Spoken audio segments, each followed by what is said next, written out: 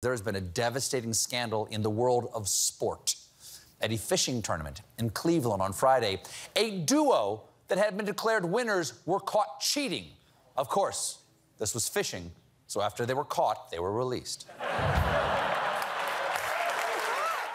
And that is the perfect segue to our next guest there. Colbert referencing the investigation underway in an apparent cheating scandal at a major walleye fishing tournament in Ohio.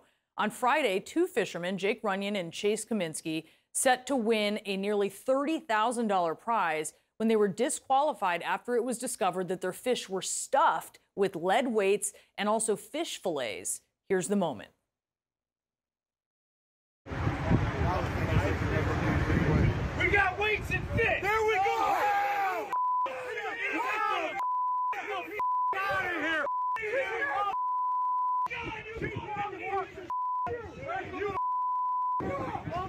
The other one?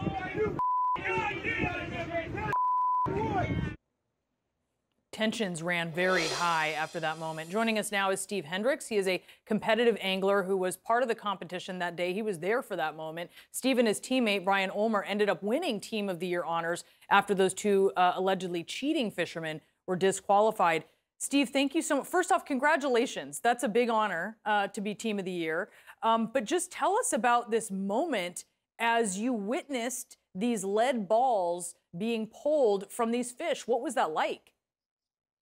Oh, it was a crazy weekend. We had uh, they came up and uh, they had their fish out in the in the tank, and they were getting ready to come up, and they picked up a fish that should have weighed about four pounds, and they set it on the scale, and it said eight, and then they put the rest of their five in, and it came up to 35. So everybody was going nuts, as you can see in the video, and it was it was very obvious this time that uh, they weren't going to get away with that. So it's just it's a shame that that had to happen, and uh, I'm just glad that they got caught, and it's been a long time coming. So. A long time coming. You said you've suspected this in previous competitions. One of the things we've learned is that there are actually polygraphs in some of the larger competitions, and one of these competitors uh, failed a polygraph in a previous one, which cost them. You've suspected this, you and others.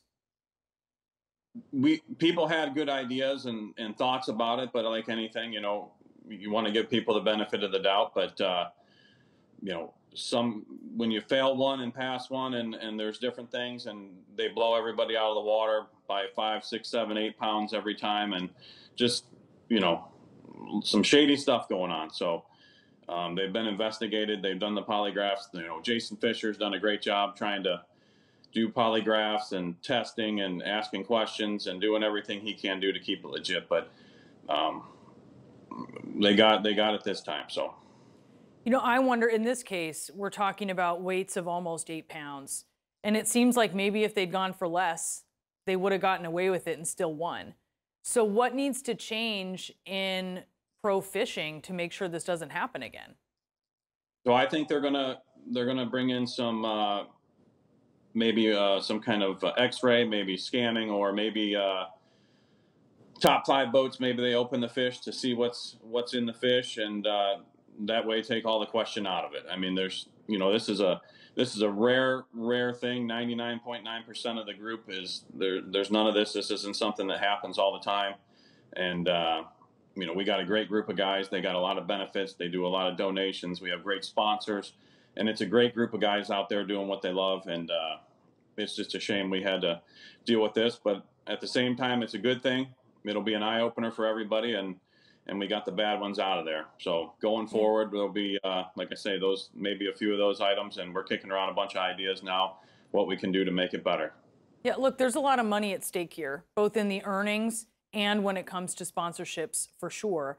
But county prosecutors uh, in Cleveland have opened an investigation into this. Have, have you talked to them? What do you think needs to happen here?